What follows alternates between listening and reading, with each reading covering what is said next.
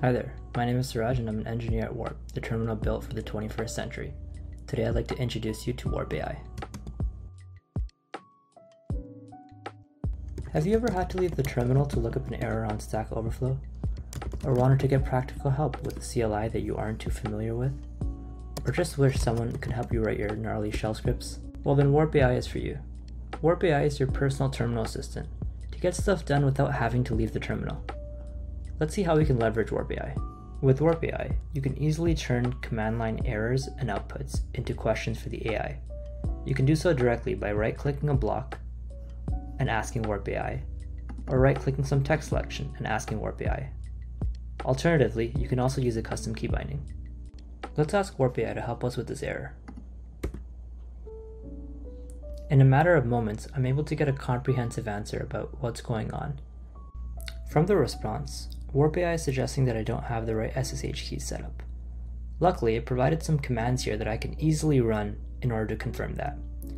With one click, I can insert the command into my terminal input and easily run it. Turns out I don't have the right SSH keys created, so let's follow up with Warp AI about that. In the response, Warp AI provides commands on how to create my missing SSH key, which is exactly what I want here. Whenever I'm not satisfied with Warp, AI's answers, I can always follow up and have it cater to my specific scenario. For example, I notice it's using RSA for its SSH keys. So what if I asked it, can I use ECC instead? Great, Warp AI was able to pr produce the equivalent command using ECC. Let's look, look at an example of using Warp AI from scratch.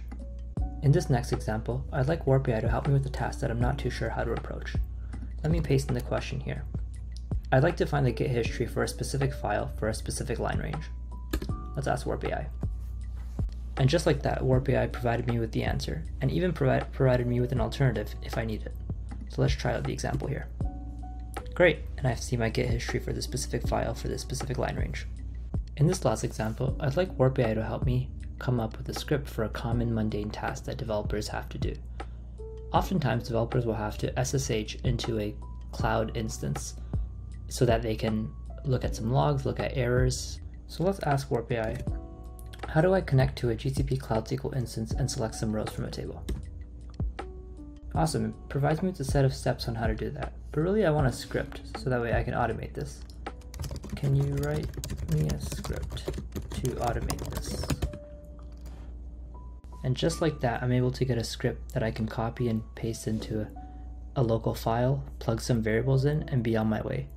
It would have taken me a much longer time to come up with this script without using Warp AI. There are so many use cases for Warp AI, and we believe it'll unlock a new set of capabilities in the terminal. We can't wait to see how you use it. To give Warp AI a try today, visit warp.dev and download the app free now.